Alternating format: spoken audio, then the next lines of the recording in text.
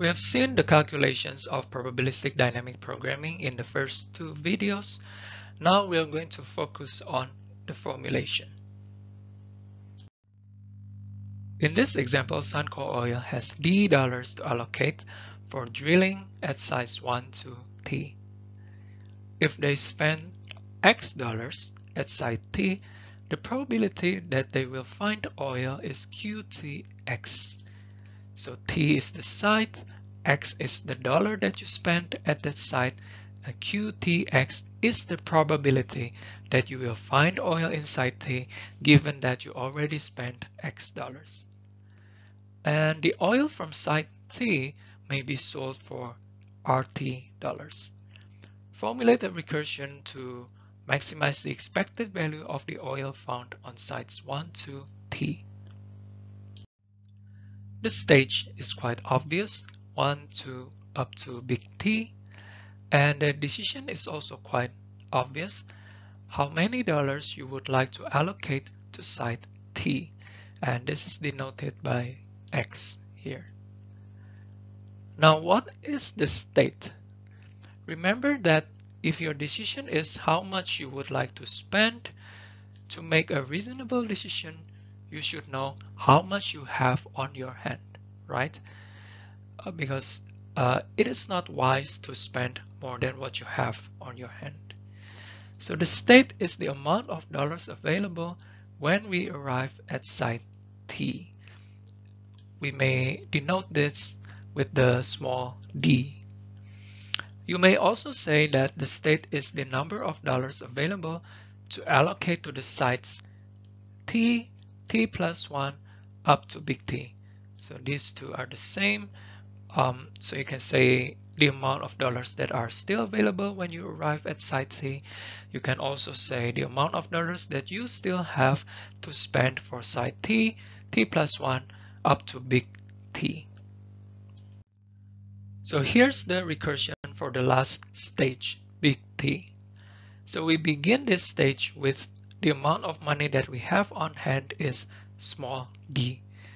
Remember that big D is the total money that you have at the beginning of the problem that you may allocate to all sites. Small d is the amount of money that you have at the beginning of this stage. Okay, so you have money as much as small d. This is already the last stage. So your decision is spending all your money in this stage, right? Because this is already the last site where you can find oil. You still have money, well, you just spend them all, right? There's no use to keep those money on your hand. So we spent all money that we have to find the oil at site big T. Again, because big T is the very last site. So FTD is the maximum expected value of the oil that can be found on site T if D dollars are available when we arrive at site T. If we find oil, then we obtain the revenue of RT. If we do not find oil, we obtain zero dollars, right? You have spent money to dig, to drill the land, but there is no oil, so obviously your revenue is zero. Remember, same as before, the key is that for each of this event, you multiply it with the probability of that event happening. So if we find oil, we obtain this revenue. You multiply it with the probability we find the oil The probability that we find the oil at site T after you spend D dollars is QTD. So this entire thing is the probability QTD. And the probability of not finding any oil is 1 minus that. So that is the probability of not finding the oil at site T. Something multiplied by 0 is 0 so finally, you can just uh, simplify it to become RT times QTD.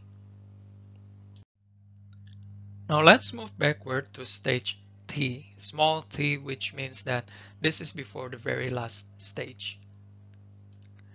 We have Ft, small t, D, which means the maximum expected value of the oil that can be found on site T, T plus 1 up to big T if D dollars are available when we arrive at site T. So we have D dollars, but because this is not the last stage, we will only spend X dollars. X can be between um, greater than or equals to 0 or less than or equals to small d. We may spend 0 on this side. We may spend everything we have. In the previous slide at the stage big T, we spend all the money that we have on hand because that is the last stage. This is not the last stage, so x can be between 0 and small d. Um, because we would like to maximize the expected value of uh, the revenue. So here, if we find the oil, we obtain the revenue of RT dollars.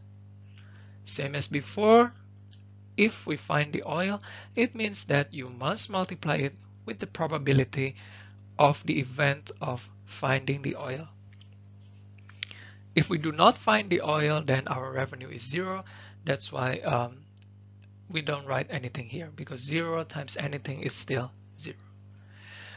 Now, because this is not the last stage, we must uh, add this with ft plus 1 because ft plus 1 is the maximum expected value of the oil from site t plus 1 up to site big T if d minus x dollars are available when we arrive at site t plus 1.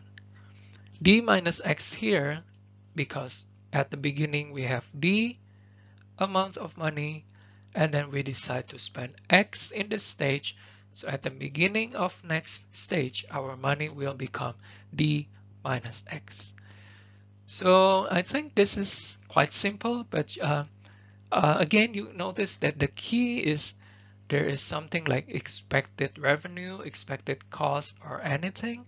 And the key is to multiply that with the probability of this event happening.